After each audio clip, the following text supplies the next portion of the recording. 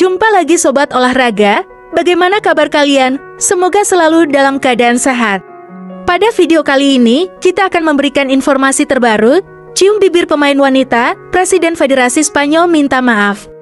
Presiden Federasi Sepak Bola Spanyol RFF Luis Rubiales dihujani kritikan usai aksinya mencium Jennifer Hermoso saat Spanyol juara Piala Dunia Wanita tahun 2023. Luis Rubiales pun meminta maaf.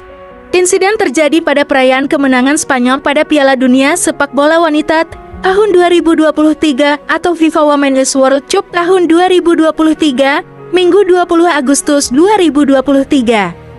Tim Matador sukses menjadi kampion setelah mengalahkan tim Inggris satu banding 0 pada pertandingan final yang berlangsung di Stadium Australia, Australia. Selebrasi awalnya berjalan normal, namun publik mulai terusik saat melihat prosesi pengalungan medali. Rubiales yang terlihat sangat girang, tiba-tiba mencium bibir Hermoso saat memberi ucapan selamat. Momen ini tertangkap kamera dan langsung viral di media sosial. Kecaman pun bermunculan. Rubiales awalnya tidak merasa bersalah. Dia bahkan menganggap pertanyaan mengenai kejadian itu merupakan hal bodoh. Namun tekanan demi tekanan membuatnya berubah. Belakangan, pria kelahiran Las Palmas itu akhirnya menyampaikan permohonan maaf resmi melalui rekaman video. Saya akui saya salah, kata Rubiales lewat komentar resmi melalui video yang disebar RFF.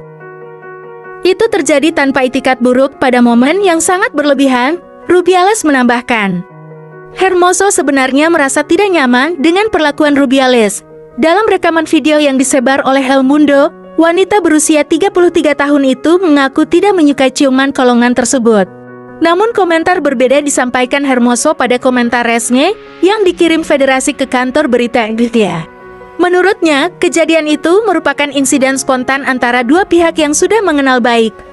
Itu adalah sikap timbal balik yang benar-benar spontan, yang dipicu oleh kegembiraan yang luar biasa karena bisa memenangkan Piala Dunia, ujar Hermoso dalam pernyataan resmi tersebut. Presiden dan saya punya hubungan yang baik, perilakunya dengan kami semua selalu berada di peringkat 10 dari 10, dan ini adalah sikap kasih sayang dan rasa terima kasih yang alami. Rubiales tidak hanya mencium Hermoso saja, belakangan video lain memperlihatkan kalau petinggi RFF itu juga kedapatan melakukan hal yang sama kepada Olga Ramona. Bedanya, Ramona dicium di bagian kening. Rubiales juga disorot karena melakukan selebrasi sembari memegang organ intimnya. Tidak aneh bila aksi Rubiales belakangan menuai kecaman dari berbagai pihak. Tidak hanya netizen, para aktivis kesetaraan gender di negeri Matador juga buka suara. Selain itu, pemerintah juga ikut menyoroti kasus ini.